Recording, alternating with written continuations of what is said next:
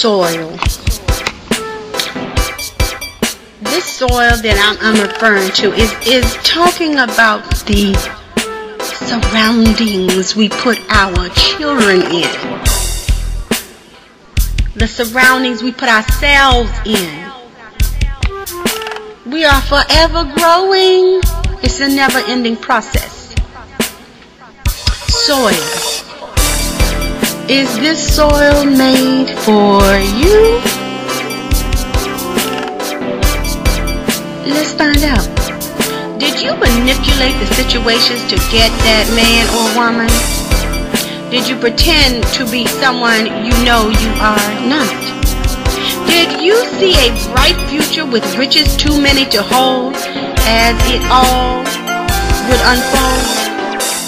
Did you set a date to marry and withhold the goods till the deal was sealed?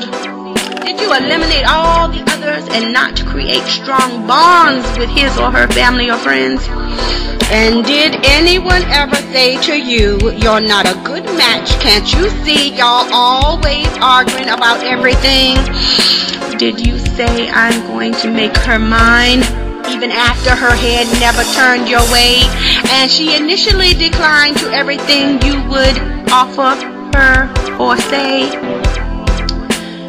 Did you set your eyes for the biggest mark and pull the wool over him for his demise? Well,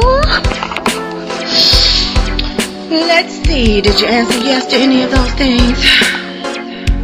Well, no wonder you got what you asked for, and you worked pretty hard to get it.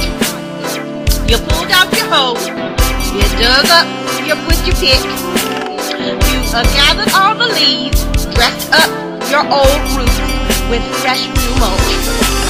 But underneath, I said, deep down in this soil, it has turned rotten and has no true nutrient to support your roots.